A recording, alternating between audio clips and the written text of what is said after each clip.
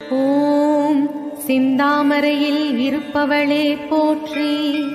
ஓம் செல்வத்தின் அதிபதியே போற்றி. ஓம் உன் தாழ் பணிந்தோம் போற்றி. வணக்கம். இந்த வீடியோவில் வந்து என்ன பார்க்க போகிறோம் அப்படின்னா அதாவது இந்த ஜாதகர் வந்து கேட்குறார் அதாவது லக்னாதிபதியுடைய தசாபுத்தி தான் நடக்குது. நான் வந்து வேலை இல்லாமல் கஷ்டப்படுறேன். எதனால் வந்து இது நடக்குது அப்படின்னு வந்து கேட்குறார் அப்புறம் வந்து ஃப்யூச்சரில் வந்து சொந்த வீடு கட்டக்கூடிய ஒரு அமைப்பு வந்து என் ஜாதகத்தில் இருக்குதா அப்படின்னு வந்து கேட்குறாரு சரி இப்போ இவருடைய ஜாதகத்தை வச்சு இவர் கேட்ட கேள்விக்கு வந்து ஏன் இப்போ வந்து வேலை இல்லாமல் கஷ்டப்படுறார்? எதிர்காலத்தில் வந்து சொந்த வீடு கட்டுவாரா கட்ட மாட்டாரா அப்படிங்கிறத பற்றி பார்க்கலாம். ஜாதகர் பிறந்த டேட்டுன்னு பார்த்தீங்கன்னா அஞ்சு ஒம்பது ரெண்டாயிரத்தில் வந்து பிறந்திருக்கிறார். டைம் வந்து பார்த்திங்கன்னா பதினோரு மணி நாற்பத்தி மூணு நிமிஷம் பிஎம் சேலத்தில் வந்து பிறந்திருக்கிறார். ராசியாக வந்திருக்கிறது விருச்சிக ராசி. கேட்டை நட்சத்திரம் ரெண்டாம் பாகத்தில் வந்து பிறந்திருக்கிறார். லக்னம் வந்து ரிஷப லக்னம். நடக்கக்கூடிய தசாபுத்தி பார்த்திங்கன்னா சுக்கர திசை தான் வந்து நடக்குது. அதாவது லக்னாதிபதியுடைய திசை தான் வந்து நடக்குது. பதினாறு மூணு ரெண்டாயிரத்தி இருபத்தி நாலுலேருந்து பதினஞ்சு பதினொன்று ரெண்டாயிரத்தி இருபத்தஞ்சி வரைக்கும் வந்து சந்திர புத்தி வந்து நடந்துட்டுருக்குது சுக்கர திசையில் சந்திர புத்தி வந்து ஜாதகருக்கு வந்து நடந்துட்டுருக்குது ராசி கட்ட கிரக நிலைகளை பார்க்கும்போது ரிஷபத்தில் வந்து சனி பகவான் குரு பகவான் வந்து அமர்ந்திருக்கிறாங்க. மிதுனத்தில் வந்து ராகு பகவான் கடகத்தில் வந்து செவ்வாய் பகவான் வந்து நீச்ச பலம் வந்து அடைஞ்சிருக்கிறார். அதுக்கப்புறம் வந்து சிம்மத்தில் வந்து சூரிய பகவான் ஆட்சி பலம் பெற்றிருக்கிறார். கன்னியில் வந்து புத பகவான் உச்ச பலம் வந்து பெற்றிருக்கிறார். சுக்கரன் வந்து நீச்ச பலம் வந்து அடைஞ்சிருக்கிறார். அதுக்கப்புறம் வந்து விருச்சிகத்தில் சந்திரன் தனுசில் கேது. சந்தனும் செவ்வாயும் வந்து பரிவர்த்தனை யோகத்தில் வந்து இருக்கிறாங்க. இதுதான் இவருடைய ராசிக்கட்ட கிரக நிலைகள். சரி ஏன் இவர் வந்து இந்த காலகட்டத்தில் வந்து வேலை இல்லாமல் கஷ்டப்படுறார் அப்படிங்கிறத பற்றி பார்க்கலாம். இப்போ சுக்கர திசை திசாநாதன் யார் அப்படின்னு பார்த்தோம்னா இந்த லக்னத்துக்கு வந்து லக்னாதிபதி.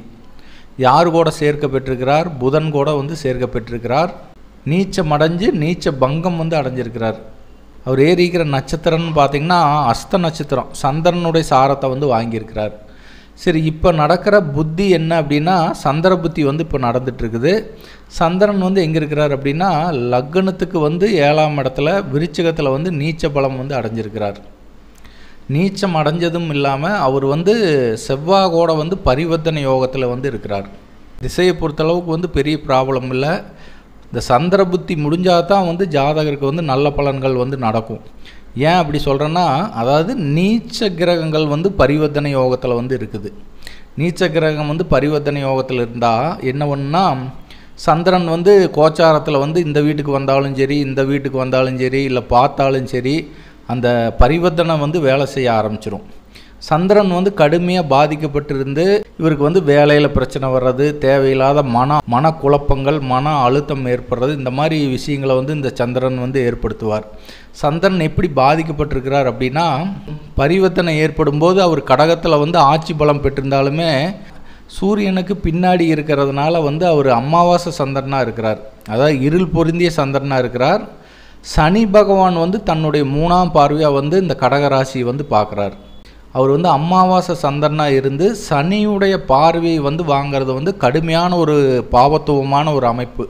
அப்படிங்கும்போது இந்த சந்திர புத்தி எந்த ஒரு யோகத்தையும் வந்து கொடுக்கறக்கு வாய்ப்பே இல்லை. இந்த சூரியனும் ராகும் வந்து கடுமையான பகை கிரகங்கள். இதுக்கு நடுவில் இந்த சந்திரன் போய் பரிவர்த்தனை அடைகிறதும் இந்த சந்திரன் வந்து இந்த வீட்டில் இருக்கிறதும் மூணு வகையில் வந்து இந்த சந்திரன் வந்து பாதிப்படைகிறார். எப்படி அப்படின்னா அதாவது சூரியனுக்கு பின்னால் அமாவாசை சந்திரனா வந்து இருள் பொருந்திய சந்திரனாக இருக்கிறார். அதுக்கப்புறம் சனியுடைய பார்வை வாங்குறார். ரெண்டு பகை கிரகத்துக்கு நடுவில் பாவகத்திரி தோஷத்தில் வந்து அந்த சந்திரன் இருக்கிறார். அப்படிங்கும்போது இந்த மூணு வகையில் வந்து இந்த சந்திரன் வந்து பாதிப்படையும் போது ஜாதகருக்கு இந்த சந்திர புத்தி முடிகிற வரைக்கும் வந்து எந்த ஒரு நல்ல பலனுமே வந்து நடக்கிறதுக்கு வாய்ப்பே இல்லை. ஸோ இந்த சந்திர புத்தி முடிஞ்சுனா தான் ஜாதகருக்கு நிரந்தரமான ஒரு வேலை அமைகிறது ஜாதகர் இன்னொரு கொஸ்டின் வந்து கேட்டிருக்கிறார். என்னென்னா நான் சொந்த வீடு வந்து எதிர்காலத்தில் கட்டுவோனான்னு வந்து கேட்டிருக்கிறார். கண்டிப்பாக வந்து கட்டுவார். ஏன் அப்படின்னா நான்காம் அதிபதி சுகாதிபதின்னு சொல்லக்கூடிய சூரிய பகவான் நான்காம் இடத்துலையே ஆட்சி பலம் பெற்று சுக்கரனுடைய நட்சத்திரத்தில் வந்து இருக்கிறார். சுக்கரனும் வந்து பார்த்திங்கன்னா உச்ச கிரகத்துக்கூட தான் வந்து இருக்கிறார் அதாவது லக்னாதிபதி சாரத்தை வந்து வாங்குறார். நான்காம் அதிபதி வந்து ஆட்சி பலம் பெற்று ஐந்தாம் அதிபதின்னு சொல்லக்கூடிய புதனும் வந்து உச்ச பலம் வந்து அடைஞ்சிருக்கிறதுனால கட்டாயம் வந்து இந்த ஜாதகர் வந்து சுக்கர திசையில் சனி புத்தியில் ஏன்னா சனி தான் வந்து சூரியனுடைய காலில் வந்து அமர்ந்திருக்கிறார். அப்படிங்கும்போது சுக்கர திசையில் சனி புத்தியில் வந்து இவர் கட்டாயம் வந்து சொந்த வீடு கட்டுவார் அப்படிங்கிறதுல எந்த ஒரு மாற்று கருத்தும் இல்லை. சந்திரபுத்தி முடிஞ்சிருச்சுன்னா ஒரு நிலையான வேலை அமைஞ்சு ஒரு நிம்மதியான வாழ்க்கை வந்து இந்த ஜாதகருக்கு வந்து அமையும் அப்படிங்கிறதுல எந்த ஒரு மாற்று கருத்தும் இல்லை நண்பர்களே. சரி நண்பர்களே மீண்டும் வேறொரு ஆய்வில் சந்திக்கலாம் நண்பர்களே. வணக்கம் வாழ்த்துக்கள்.